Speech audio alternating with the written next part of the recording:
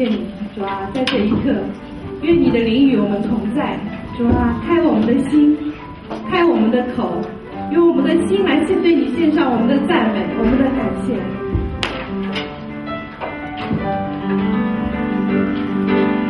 来追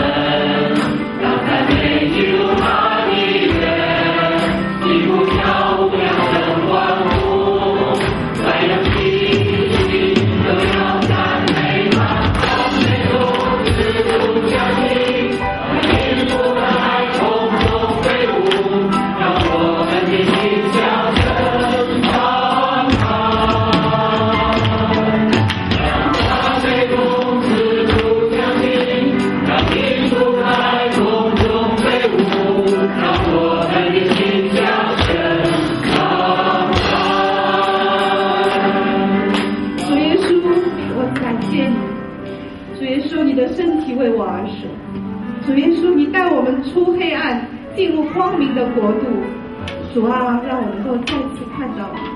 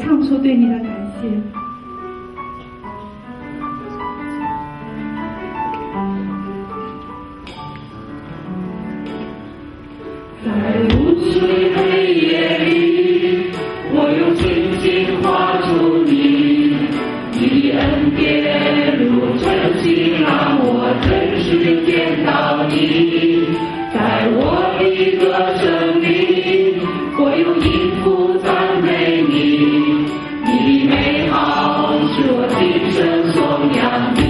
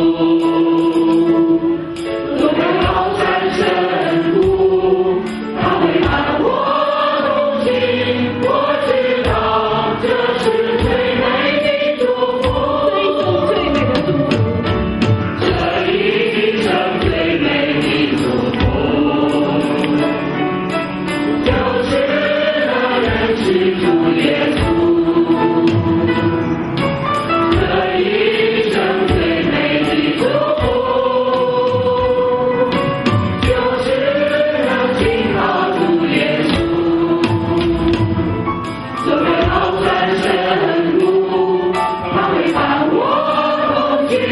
我知道这是。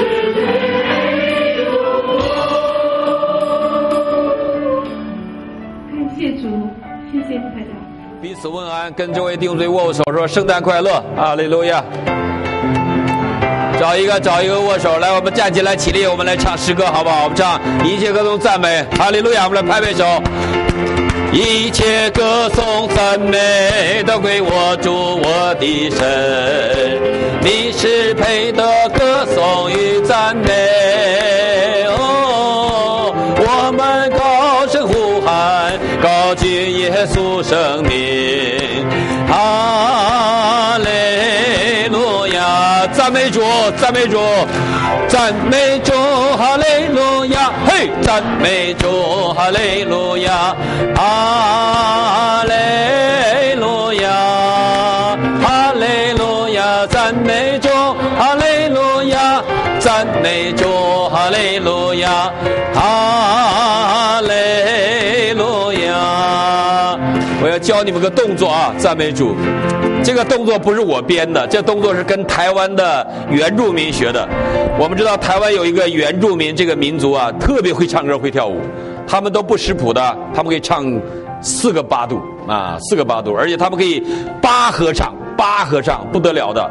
所以我有一次看到他们跳舞赞美主啊，说赞美主，赞美主，哈利路亚，这是劳动赞美主，哈利路亚，哈利，好不好？我们一起来跳啊，我们都跳起来，看，一切歌颂赞美都给我主我的神，你是配的歌颂与赞美，哦，我们高声呼喊，高举耶稣生命，哈利路亚！赞美主，左边啊，左边，赞美主，哈利路亚，赞美主，哈利路亚，哈利路亚，哈利路亚，赞美主，哈利路亚，嘿，赞美主，哈利路亚，哈利路亚哎们做的非常的好。不过刚才赞美主，我看很多人对脸了啊，对脸了。你们往左边，你们都往那边啊！我也跟着往，我是做相反的，跟你们一样的，大家跟着我往这边，好不好？我们再来一遍，来，一切歌颂赞美都给我主我的神，你是配得歌颂与赞美。哦，我们高声呼喊，高举耶稣生命，哈利路亚！赞美主啊，赞美主！赞美主，哈利路亚，嘿，赞美主，哈利路亚，哈利路亚，赞美主，哈利路亚，赞美主，哈利路亚，哈利路亚，赞美主，赞美主，哈利路亚，嘿，赞美主，哈利路亚，哈利亚，哈利路亚，赞美主，哈利路亚，嘿，赞美主，哈利路亚，哈利路亚，阿门，哈利路亚。哎呀，请坐，请坐。哎呀，我这个看了老有不锻炼，这个就看出不锻炼了吧？跳两次喘气了，呼呼喘了，你知道吗？哎呀，不行了。为什么我们要这么欢乐呢？因为耶稣为我们而来，你们？我们刚才领圣餐的时候，很重要一个意义就是纪念他，纪念他为我们而来，纪念他为我们钉死在十字架上。很多弟兄姊妹对圣餐的意义不太了解的。我记得我在加州的时候，我有一个呃弟兄是天津人，啊，这个天津人呢那天领圣餐，他们有受洗，大家不让他领，没给他，他生气了。他说：“就那么一点儿葡萄酒就不给我喝，啊，就那么一点饼也不给我吃，有什么了不起的？回家我买一瓶，他回家买了一瓶红葡萄酒，全喝光了。第二天跟我打电话，我说你不懂。”那个葡萄酒代表着耶稣的宝血，那是神圣的，是主耶稣为我们钉死在十字架上流出的宝血。你领受那个时候，它已经变成了变化，它已经是基督的生命。那个不是简单的，因为你没有相信他，你领了，你反而干犯了他。我们知道圣经说，如果嘛不认罪，不按照常理领受饼主的饼主的杯，我们就是干犯了主的身主的血了，那我们就是犯罪了。所以我们对这个要有知道一个意义。那我们就知道今天是圣诞节前的一个星期。那牧师讲是圣诞的信息。下个礼拜，呃，我要去呃加拿大和 Ohio，呃带领两个冬令营，所以下礼拜是建学弟兄讲到了。我们很多弟兄姊妹也要出去。所以今天我们就是我们教会正式的来纪念圣诞节的一个日子，是一个欢喜快乐的日子。为什么？因为耶稣为我们来了，我们人类有了盼望。Amen，哈利路亚。讲一个小故事，说在圣诞期间，我们看到很多的这个欢乐的景象，商场借着机会发财赚钱。我昨天我开车的时候发现公路都在塞车，啊，谁说美国经济不好？我看到每个小米三都没有停车位，知道吗？满的不得了，公路一直塞塞，都去了那个 Firefight 那个是小米 center 那个。就小金他们原来门口那个小米森，那个整个的都在塞车。那我就想，当人们在 shopping 的时候，我们中文管的是翻译成瞎拼啊，瞎拼，管 shopping 叫瞎拼。我觉得这翻译太好了，你知道吗？嗯，所以不要去跟着瞎拼去。呃，来到教会来敬拜主多好。所以这个在 shopping 的时候，人们看到美轮美奂的礼物的时候，人们不知道圣诞节的意义究竟是什么。我们知道看到外边的美轮美奂。我们看到一切，不管是圣诞树、圣诞礼物，都是很很漂亮的。可是我们忘记了那个真实的含义。圣诞节其实是纪念一个婴孩为我们而来，一个婴孩为我们而来。这个婴孩就是耶稣基督。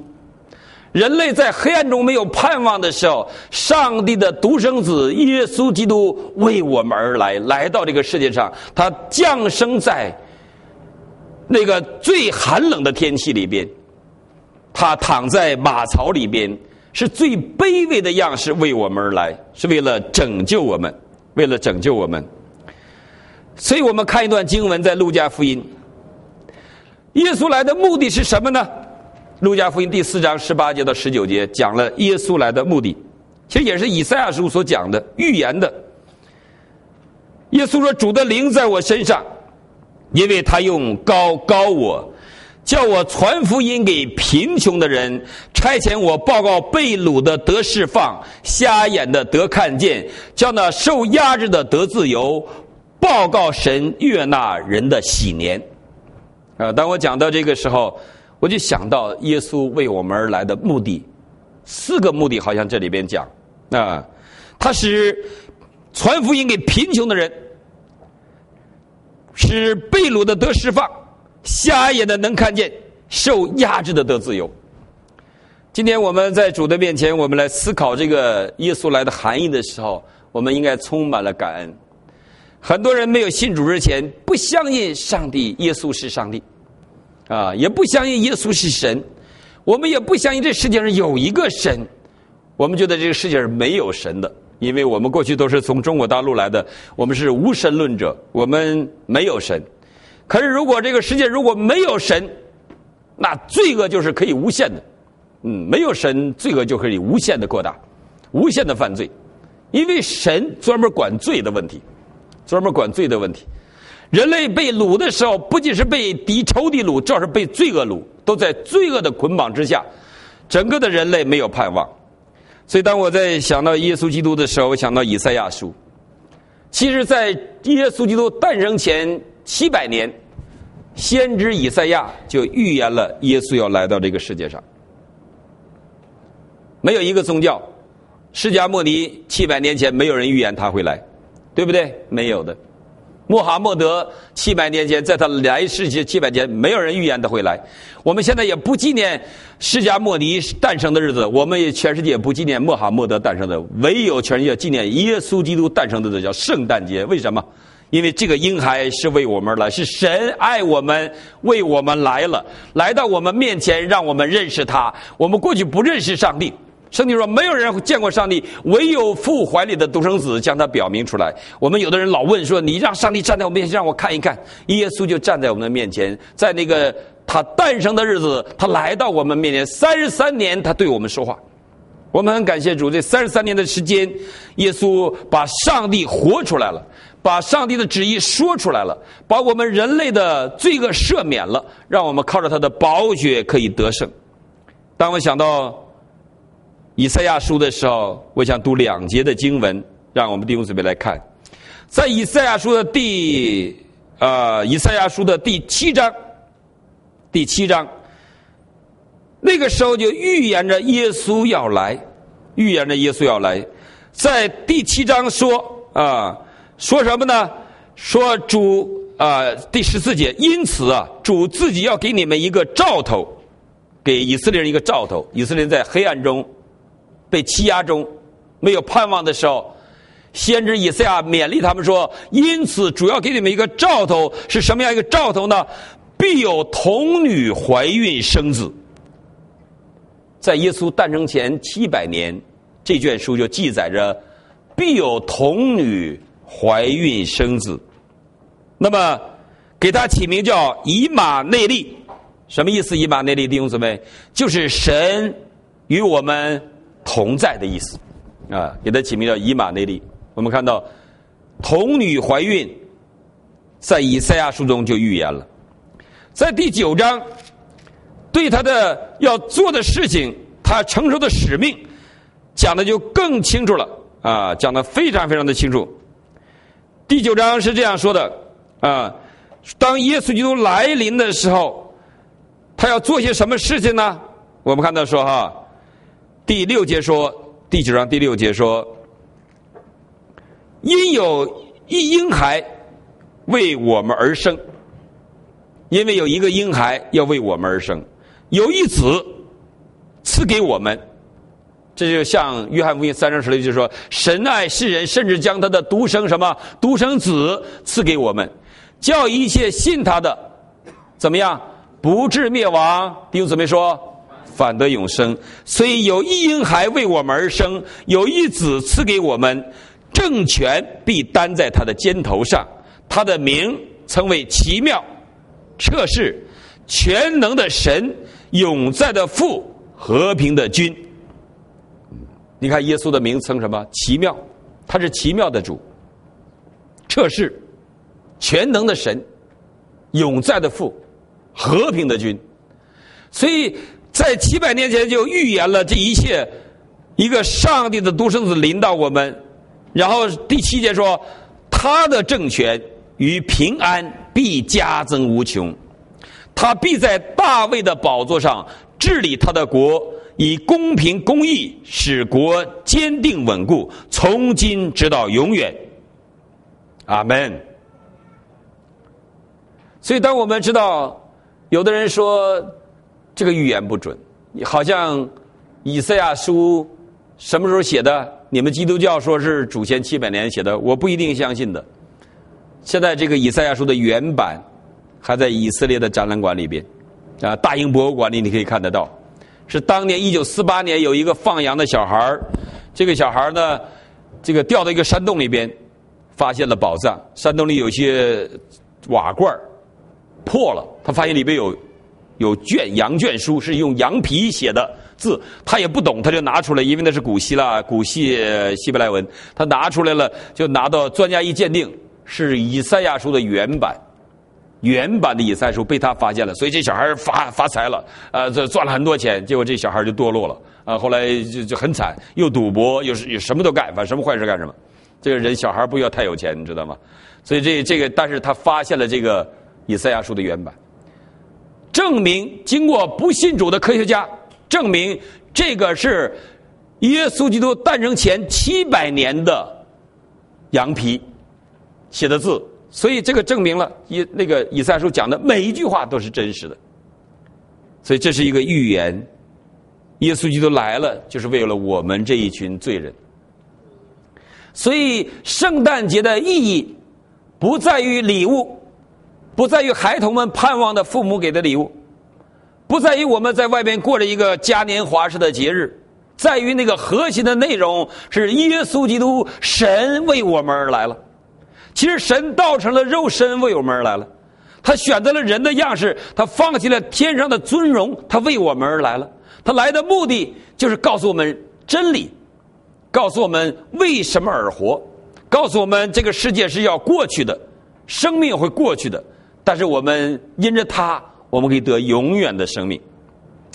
哈利路亚！所以我们看到说，在这里边说，在路加福音四章十八节说：“主的灵啊，在我的身上，上帝的灵在耶稣基督身上。当耶稣受洗的时候，大家还记得吗？天怎么样？开了，天开了。见过天天开的形象，那个非常震撼的。我们那天在加州一代人聚会的时候，我们祷告的时候，那阴云密布的，我们就在祷告祷告祷告，因为我们都闭着眼睛嘛，我们祷告都不睁眼睛，也不知道。突然一睁眼睛，看到天裂个缝，一个白色的缝，其他都是黑的，然后那阳光从那射下来，哇！我们心哗一下就激动，上帝听我们的祷告。然后一个雄鹰在那飞，我们看到天开了。你们到我的博客上去看看那个照片，非常的震撼的一个照片，啊。有的弟兄姊妹就把它照下来了啊，把它照下来。天开了，神的灵降在耶稣的身上。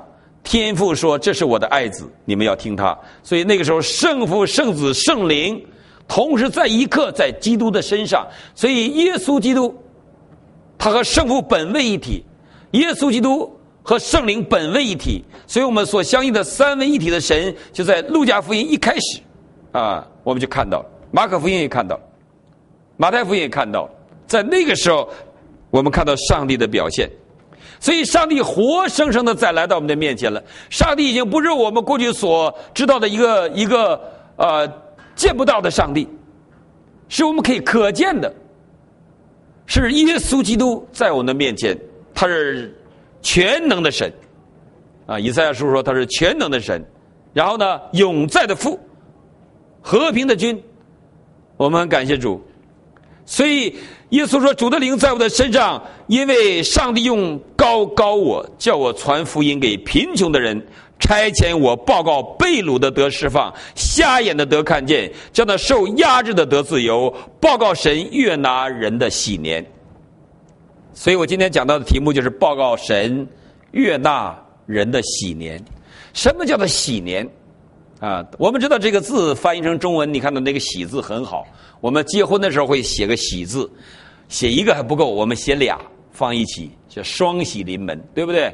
然后一般结婚都写不写一个简体字，写繁体的两个喜放在一起，啊，就叫喜。如果加一个一补旁，这个一补旁啊，多数的用在上帝的神身上，神就是用一补旁的，所以加这个一补旁就说明这个年这个喜年是从神而来的。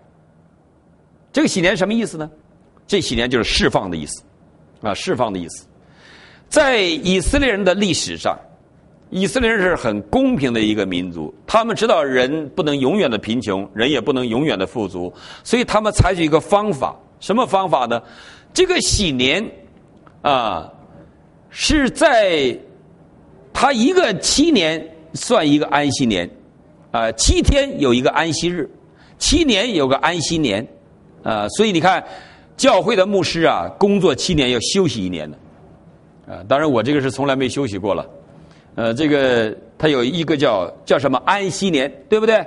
我们知道传统的教会牧师，美国的牧师他要休息的，你不让他休息不行啊，他要有一年不工作了，啊，然后他就去读书去了，宣教去了，或者是休息去了，然后他回到教会的时候，这个这个他继续的服侍啊，是这样子的，他有七年，啊，可是，在七年，七个七年，后边那一年就叫七年。七七多少年呢？四十九年。那最后那一个年呢？就五十年。五十年的喜年预表什么意思呢？在这五十的七年期间，不管你发了多少财，啊，发了多少财，你五十年以后，你的地要分给穷人的，重新开始。这以色列人的历史啊，文化。不管你欠了多少债，你把地都卖光了，五十年以后再拿回来，赎回来，明白这意思吗？这是以色列过去的在旧约时代的时候他们的生活方式啊。这七七四十九以后的第那一年啊，是表示过去的一切都赎回来了。所以在属灵上，我们也叫做赎罪节。啊，七月的十号是以色列的赎罪节，就是宣告喜年的到来。那是要吹响公绵羊的号角，在以色列国犹太人是严格的遵守安息年的圣经原则的。不管你多么穷，那一年你还有一次机会，所以五十年你有一次机会，啊，一次机会。我们今天我们感谢主，在属灵的意义中，我们看到，不管我们犯了多少的罪，神把我们赎回来了，你们？哈利路亚！神用宝血为我们涂抹了我们的罪，把我们从罪恶的捆绑中赎回来了。所以耶稣人讲了四个层次：第一个，他来了是要传福音给贫穷的人。谁是贫穷的人呢？我们的圣经告诉我们说，这个贫穷的人不在于你外边的贫穷，乃在你心灵的贫穷。所以圣经说，那个贫穷的人有福了。为什么贫穷有福了呢？天国是他们的呢？是因为贫穷的人知道谦卑，贫穷人知道来到上帝里面来寻求出路，啊，哦，反而那些富足人他却没有感恩的心，贫穷人有感恩的心。啊，有一个小故事说，有一个十岁的小孩子，站在在圣诞节的时候，他站在各种各样的鞋店的店店门口，他光着脚丫子，外边下着大雪，啊，而且橱窗里边摆着的鞋都是温暖的、漂亮的鞋子，但是却没有属于他的，他的身体被冻得因着寒冷而打颤。这儿有一个姐妹，一个女士走到这个男孩子跟前，就问他说。啊，小朋友，你为什么盯着鞋子看呢？那小朋友把脚伸出来说：“你没看见吗？我没鞋，啊，我没鞋。”这个这个姐妹就牵着这个小孩的手走进了店里边，然后他就给他洗了脚，他就给他试了一双棉鞋，看哪一双合适他。然后试完以后，他说：“你觉得这个鞋好不好？”啊，当然他也给他买了一沓袜子。这个小孩说：“太好了，太温暖了。”这个这个姐妹就为这小孩付了钱，啊，付了钱。然后他说：“这个鞋和这袜子是我送给你的圣诞礼物。”这个姐妹就走了。这小孩追上他，拉住他说：“你是上帝的太太吧？”因为他知道只有上帝是这样爱人的。可是我们知道上帝是没有太太的，对不对？耶稣基督有没有妻子？有没有？没有。有。怎么没有？Amen，哈利路亚。就是我们，就是刚才送鞋那个姐妹，那是耶稣的妻子。教会是基督的什么心腹、新娘子，所以教会要圣洁，教会要有爱心，教会要活出基督的样式。所以教会是基督的最爱。所以圣经里的属灵义告诉我们，教会是基督的妻子，啊，是他的心腹。有一天，他要应许教会，应许教会，所以教会要活出基督的爱心，活出基督的光，活出基督的这个圣洁，还有基督的能力，你们。所以哈利路亚，我们感谢主。所以这小孩你看，他虽然没没没没读圣经，他懂这么深的属灵意义啊！你是基督的妻子吧？呃，你是上帝的妻子吧？因为这个人是个基督徒，是上帝的儿女。我们感谢主说，所有贫穷的人，当耶稣再来的时候，有了盼望，有了盼望，因为他赎我们，赎我们，他要带领我们走一个新的富足的路。所以圣经说，那些信靠耶稣的，我们在今日要得百倍，来日得什么？得永生。所以信靠耶稣的上帝没有说我们今天我们外边一定要过贫穷的生活，不是的。我常常说，基督徒要过什么？要过简朴的生活。但是，基督徒不一定过贫穷的生活哟。简朴跟贫穷是两个概念。贫穷是指那些你看那些流浪汉，你看那些无产者，那都是很多不负责任的人。他们不管妻子儿女，把孩子一扔走了啊，他们也不去工作。上帝给他的智慧他也不用，他也对家庭不负责任，然后他就等待着革命了，对不对？我们看过那个电影叫什么了？谢晋拍的叫什么了？啊，有一个人老喊运动了，运动了，嗯，为什么要运动？一运动就重新分家嘛，一分家他他就有钱有东西了嘛。所以无产者，无产者，并不都是上帝让他做无产者，是很多自己对自己的人生不负责任。所以上帝并不是说让你一定要过贫穷的日子，但是我们不管多么。有富足经济上，我们应该过简朴的生活。那这是上帝给基督徒的一个。如果我们过了简朴的生活，我们把我们把钱该给上帝的给上帝，啊，我们该给穷人的给穷人，我们该支持灾区支持灾区，我们该说帮助那些读不起书的孩子就帮助读不起书的孩子。这样的人就是富足的，富足的。耶稣基督本是富足，圣经说却降世为人，选择过贫穷的生活，啊，让我们看到上帝的爱。所以，第一点，我们看到他是为我们穷人而来的。穷人当到喜年的时候，他就不再穷了，他重新跟富人一样的平等。我们这些灵里边贫穷的人，当我们认识了耶稣基督，我们就不再贫穷了。我们跟所有属灵的儿女一样的平等，因为我们都是上帝的儿女，因为所以贫穷的人有福了。第二个，耶稣告诉说：“报告被掳的得释放。”谁是被掳的呢？我们的被掳是很惨的，以色列人常常的被掳，啊，他们最最好西西家被掳的时候把眼睛挖掉了，啊，以色列有几差不多三万多个精英都被巴比伦掳到巴比伦，他们在巴比伦的时候他们回不了国，最后到主后六十四年的时候，整个的呃犹太。呃，那个耶路撒冷都毁掉了，把所有的犹太人被罗马人赶到世界各地去。又从此，罗马人规定犹太人不许回耶路撒冷。为什么犹太人对耶路撒冷有那么大的一个情结？他们爱耶路撒冷，因耶路撒冷就是他们的祖国，他们的心脏。所以以色列人永远的这个民族，不管流落到哪里的时候，因着上帝的爱，他们永远的不失散，就因为他们有耶路撒冷情节，耶路撒西安山的情节。他们永远仰望着那块，他们要回到自己的国家。他们不管被掳到哪里，所以当耶稣来了，就宣告被掳的。我们讲到被掳的得释放。当我们讲到被掳的得释放，我刚才讲到，我们是被罪恶捆绑的人。罪就是一个暴君，罪就跟罗马帝国、跟巴比伦帝国一样的厉害，它可以把我们掳走，把我们掳走，把我们俘虏。所以。罗马书第六章告诉我们说：“我们不要做罪的奴仆，我们乃要做什么？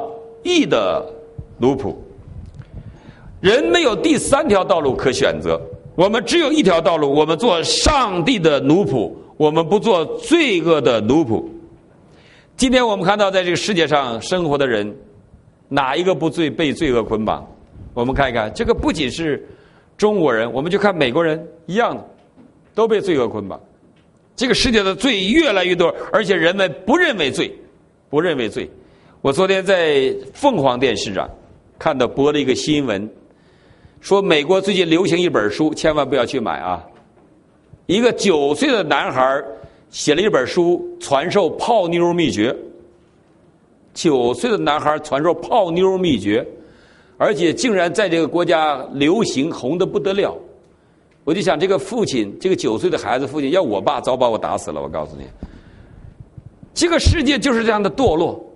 这个世界，这个世界都是罪恶，都是罪恶，骄傲、贪心、谎言、嫉妒、恼恨、纷争，存在着很多人的心里。所以，哪一个人敢说自己没有被罪恶俘虏？哪人也不敢讲。这个罪恶。他有一个巨大的能力的暴君，的俘虏了我们，他控制了我们，让我们按照他的心意去生活。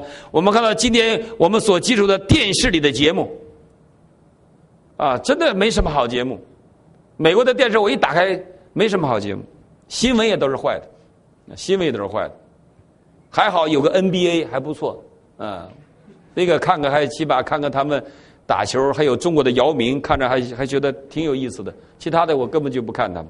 啊，中国的电视当然就更不难看，全是谎言，啊，没几句真话都，啊，说的都是官话套话，你听着都是几十年前从小就听到现在，耳朵都这说上句我知道下句在说什么。今天你看电视看电影也是啊，电影色情，呃，色情点，网络也是色情，很多的东西，酒精影响着我们这世界，这世界有什么平安吗？都是被掳的。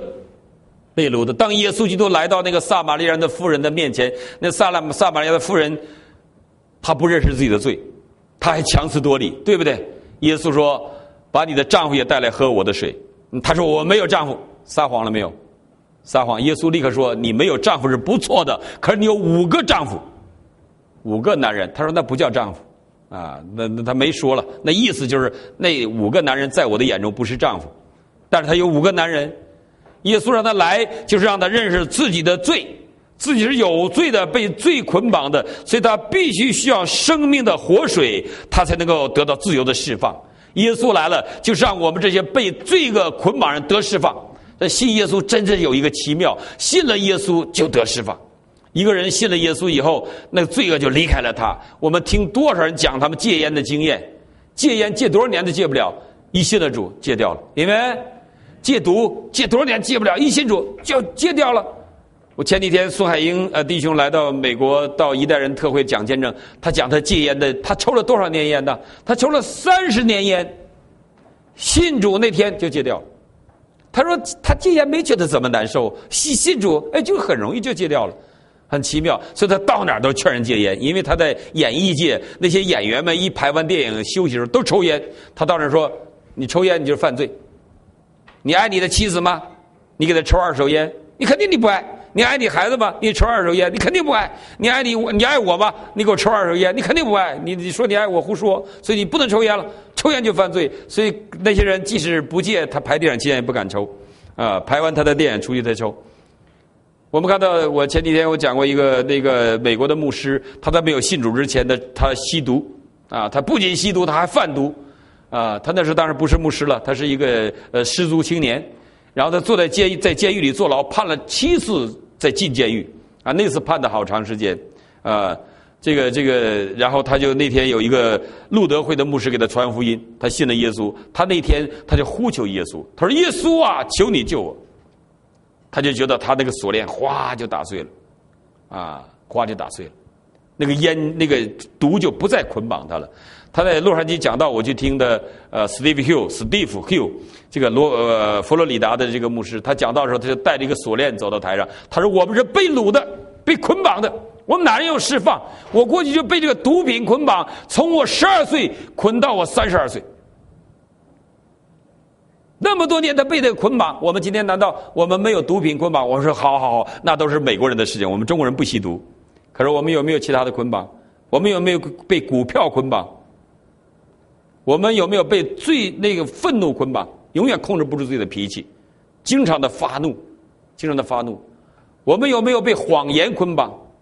我们常常的说谎，我们觉得只要不伤大雅，说个谎对大家都舒服。可是耶稣说是就是，不是就是不是。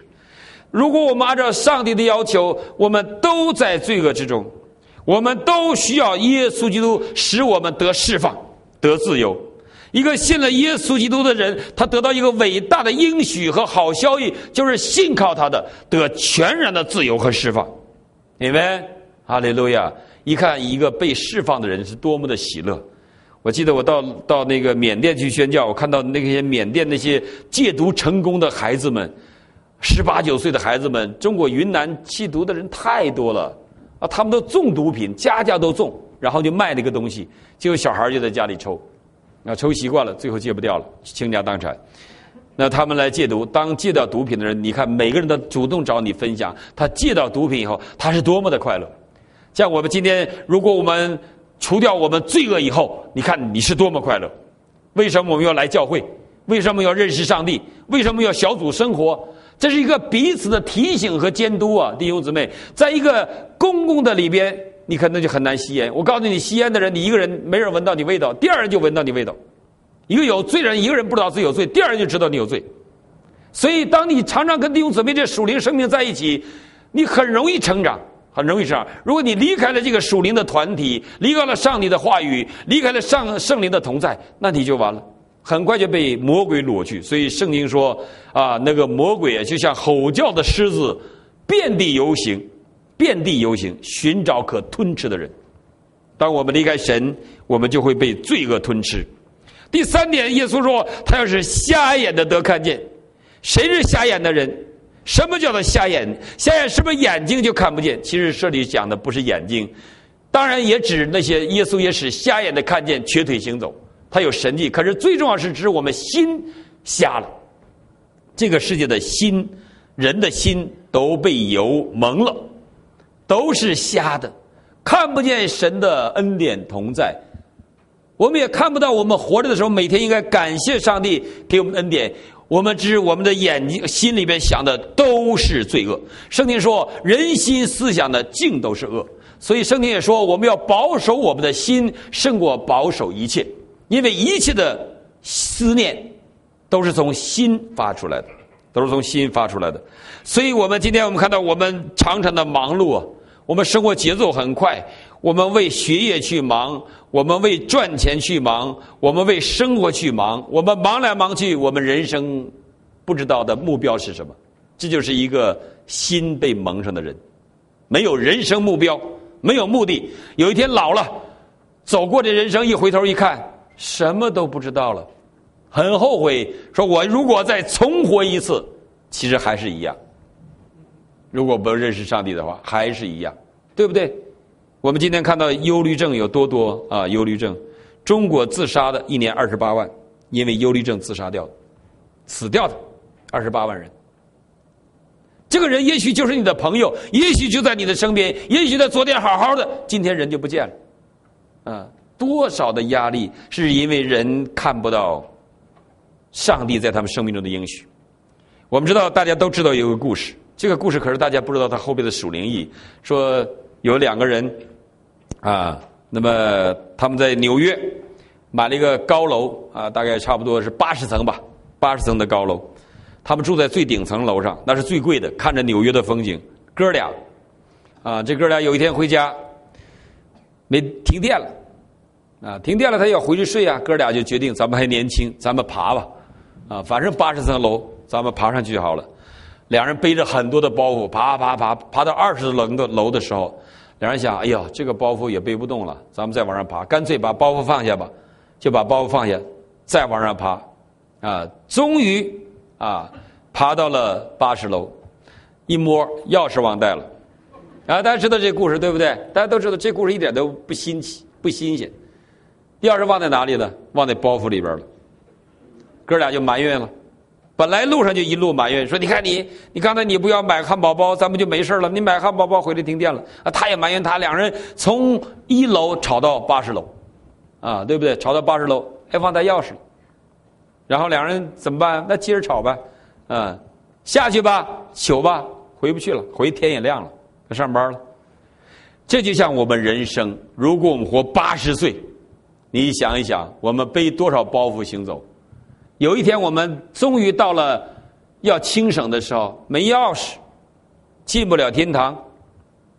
回去吧，回不去了。人生就是如此，你看看。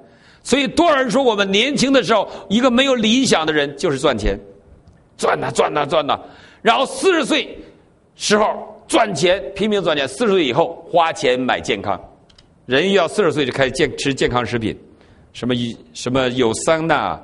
什么 M P three 啊，不是 M P three，sorry sorry sorry 啊，什么什么什么碎了？O P three O P three 啊，什么什么人参、高丽参、西洋参啊，最起码维他命 C 应该补充一点。你看看，我们都是这样子，所以我们根本不知道人生的目标。我们难道说我们是睁开眼睛的吗？所以我们的眼睛是没有见到上帝的。所以耶稣来了，就让我们见到他。马太福音六章二十三节说：“你们的眼睛若昏花，全身就黑暗，你里头的光就黑暗了。那黑暗是何等的大呀！”圣经说：“耶稣是生命的光，把我们从里边点亮，因为他是生命的源头，生命在他的里头，他就是生命的光。我们在信靠他的，就不在什么，不在黑暗中行走，我们在光明中行走，啊。”人心呢，始终在寻找着永恒的事物，人心始终在寻找着绝对的真理。可是，如果我们不认识那个为我们来的婴孩，我们不认识一把内力的神，我们就永远不能认识真理，看不到生命的光。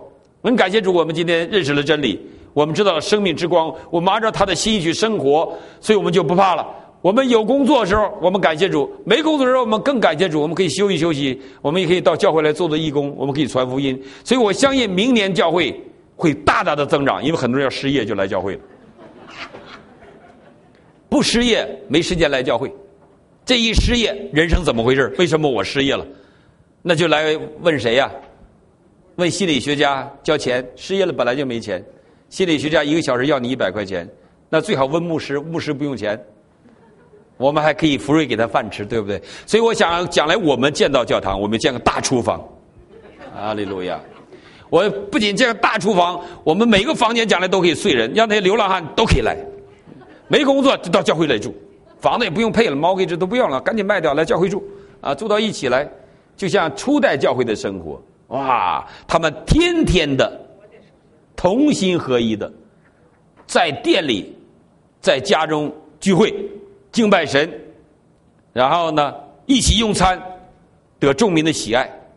哈利路亚！神将得救人天天加给他们。你看这种教会多美啊！啊，让他走他都不走，没地儿去，走什么？是要到教会来嘛？所以我们要建个大厨房。哈利路亚！建个大厨房，我们可以在那儿，大家在那儿就不要怕，有钱没钱都有饭吃，嗯，有钱没钱都有衣服穿，啊，有我的就有你的，不行一人穿一件都行，知道吗？所以不要担心，经济危机对基督徒来说不是问题，是什么？是机会，你们，哈利路亚，是我们更深的来经历神的机会。所以我们相信神会引导我们，所以不要为明天忧虑。我们今天一看到经济危机，每天一看电视全是好消息，我怎么看都是好消息呢？我看越来越好，啊，怎么主越来越近了嘛？感谢主，当然越来越好啊。末世来到了，你看大家老看什么电？你看我昨天我一上公路，我就看到我现那公路塞车塞得不了，都往庙里跑，说明都有钱嘛，知道吗？对不对？感谢主，我们聚会今天就比上礼拜人多嘛，一个礼拜比礼拜人多嘛。嗯，我们感恩，对不对？赞美神呢。我们也看到好处，很多弟兄姊妹在这个时候，在经济危机的时候买房子，没有卖房子，这当然感谢主了。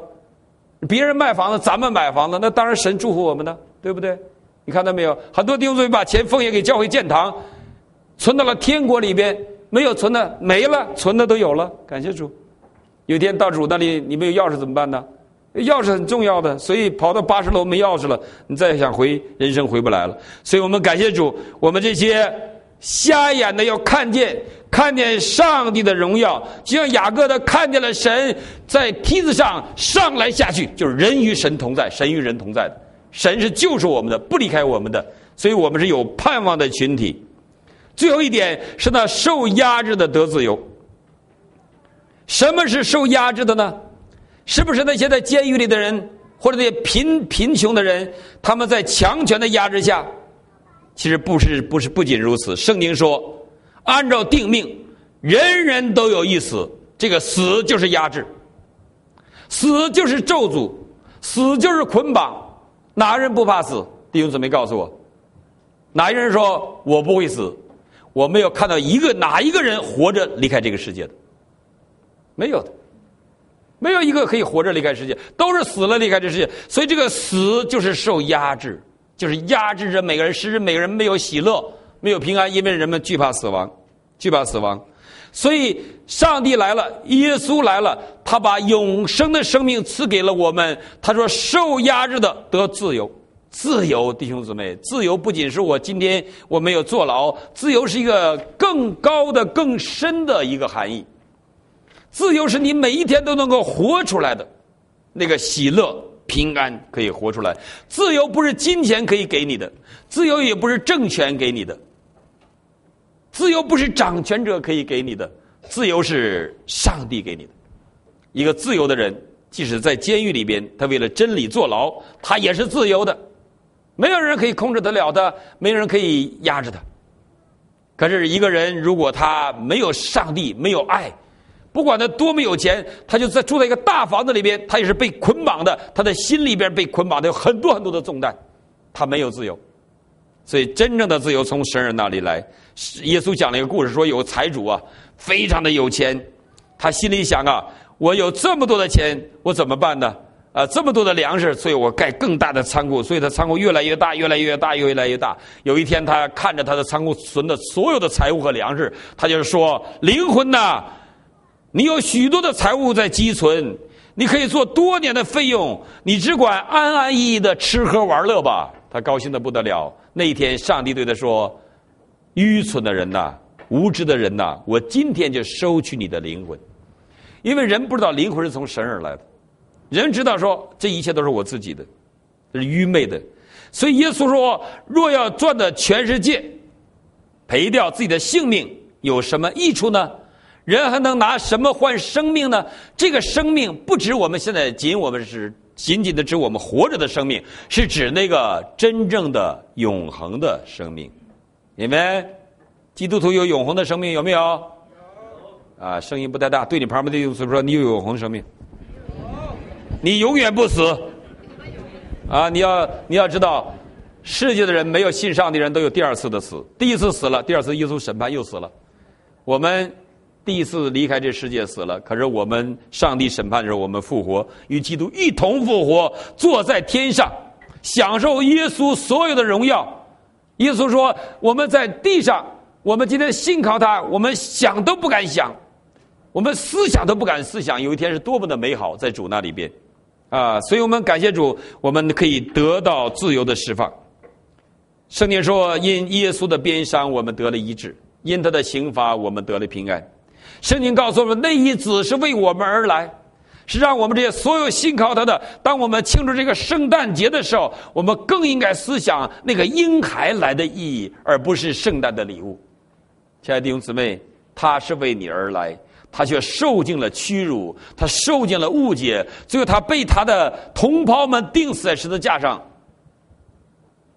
但是今天，我们看到了，我们看到了这个婴孩，就是我们所相信的弥赛亚，就是我们盼望的弥赛亚，就是人类的救主。他活出了上帝的荣光，让我们信靠他的，有永远的盼望。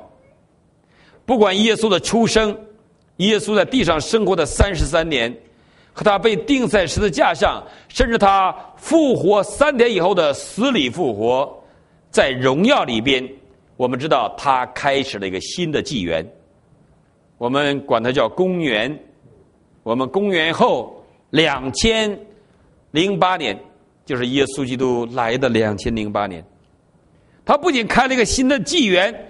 他也开了个新的国度，这个国度预表着喜年，在这个喜年里边，神赦免了我们所有的债，啊，在这喜年里边，神给我们新的富足，在这喜年里边，神让我们得到真正的安息，在这喜年里边，神在掌权，在这喜年里边，让我们享受着他从属天的祝福和医治，疾病得以医治。心里的伤害得以医治，靠着耶稣基督，我们得真正的自由、平安和喜乐。像耶稣应许我们，他必接我们回家，接我们同住，他要擦干我们所有的眼泪，我们所有的痛苦都会成为过去，死也不会再有。这是真正的应许和我们该有的盼望。你们，阿利路亚！所以我们来唱首诗歌，来纪念。为我们诞生的神，为我们舍命的神，也为我们让我们得到真正盼望的神，这就是圣诞节上帝给你的礼物，这就是我们一生中上帝给我们最重要的礼物——耶稣基督。这首诗歌弟兄姊妹都很熟了，我们一起来起立好了，我们来唱《夜圣上夜》。平安夜，